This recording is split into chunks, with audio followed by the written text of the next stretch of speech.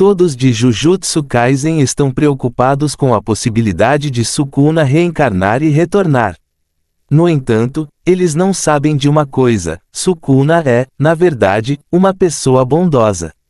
No vídeo de hoje, vamos trocar a personalidade de Sukuna e torná-lo benevolente para ver como seria a história de Jujutsu Kaisen.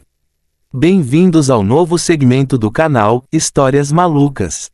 Antes de prosseguirmos com a história, peço que se inscrevam no canal para nos ajudar e nos incentivar a continuar trazendo vídeos como este. Agora, vamos ao vídeo. Itadori acaba por ingerir o dedo de Sukuna, deixando Megumi muito assustado com o que Itadori fez. De repente, Itadori se transforma em Sukuna e, ao ver um demônio aleatório à sua frente, ele a destrói com um soco. Sukuna começa a olhar ao redor, refletindo sobre não querer ser ressuscitado, pois as pessoas o odeiam.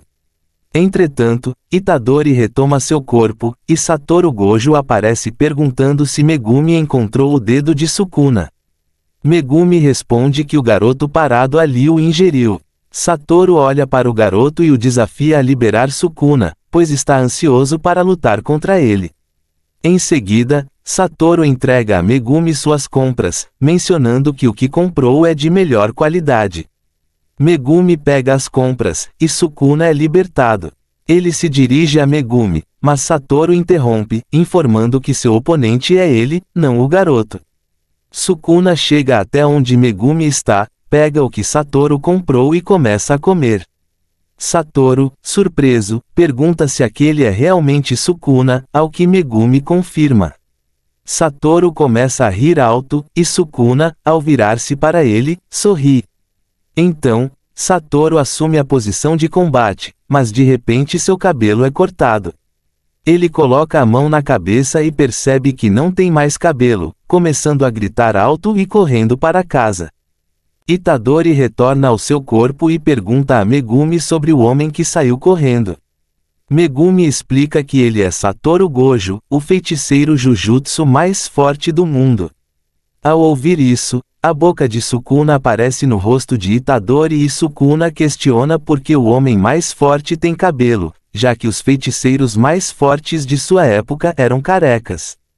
Itadori defende Sukuna, dizendo que ele não é mau e não entende por que as pessoas o temiam. Sukuna concorda, confuso. Ele pergunta onde Satoru comprou o que ele tinha comprado. E Megumi oferece-se para levá-lo lá. Eles desenvolvem uma forte amizade com Sukuna e, eventualmente, ele se torna o ajudante de Itadori nas batalhas. Itadori assume o lugar de Satoru como o feiticeiro Jujutsu mais poderoso do mundo, junto com Sukuna. Eles se tornam como Kiba e Akamaru, uma equipe inseparável. Enquanto isso, Satoru Gojo espera pacientemente até que seu cabelo cresça novamente. Eu tenho certeza de que você já quis ter a força do Saitama. Eu estou exagerando muito, né? Mas você já quis ficar em shape para impressionar aquela galera que você tanto admira, mas você nunca aplicou o que você prometeu para si mesmo, que é malhar em casa durante o período que você determinou.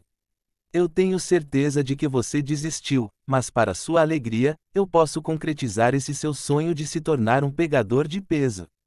Tenho aqui um e-book que vai te ajudar nesse aspecto. Clique aqui no link abaixo da descrição desse vídeo e crie os melhores planos para estar em shape daqui a seis meses.